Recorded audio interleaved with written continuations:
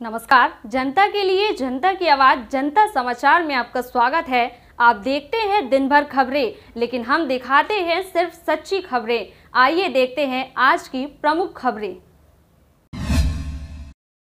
UP के कानपुर देहात में हादसा, तेज रफ्तार, ट्राला पलटने से छह मजदूरों की मौत, पंद्रह की हालत गंभीर। उत्तर प्रदेश के कानपुर देहात में मंगलवार सुबह एक तेज रफ्तार, ट्राला पलट गया। इसकी चपेट में आए 22 मजदूरों में से छह की मौत हो गई और 15 गंभीर रूप से घायल हैं, जिन्हें जिला अस्पताल में भर्ती कराया गया है। हादसा भोगनीपुर इलाके में हुआ। सभी मजदूर ट्राला में ही सवार थे। ट्रक में सवार घायल शिवलाल ने बताया कि सभी मजदूर हमीरपुर ज़िले के कलौली तीर और बरनाव गाँव के रहने वाले हैं। एक ठेकेदार उन्हें फिरोजाबाद से सिरसागंज ले जा रहा था। ट्राला कोयले से भरा था। शिवलाल ने बताया कि वे और उनके साथी बार बार ड्राइवर को कह रहे थे कि गाड़ी धीमे चलाएँ, लेकिन वह नहीं माना और ट्राला पलट गया।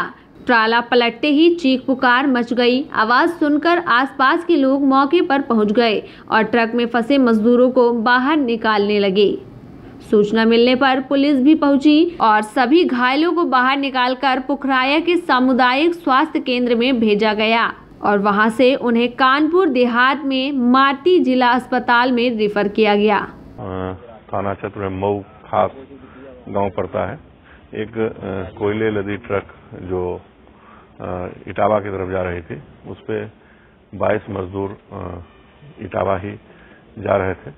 तो ट्रक पलट गई थी और ट्रक कोयले से भरी थी। तो जो मजदूर उसके ऊपर सवारी थे, वो उस कोयले के नीचे आ गए थे और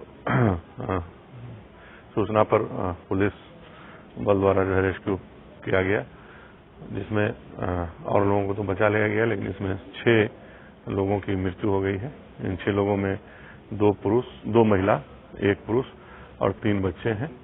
इसके अलावा आठ लोगों को जो जिला अस्पताल रेफर किया गया है, उनका भी इलाज चल रहा है।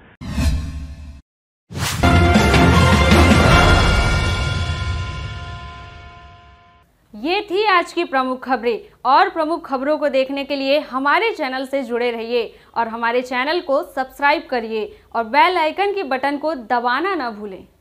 आप देख रहे हैं जनता के लिए जनता की आवाज़, जनता समाचार। अन्य खबरों के लिए हमारा चैनल सब्सक्राइब करें।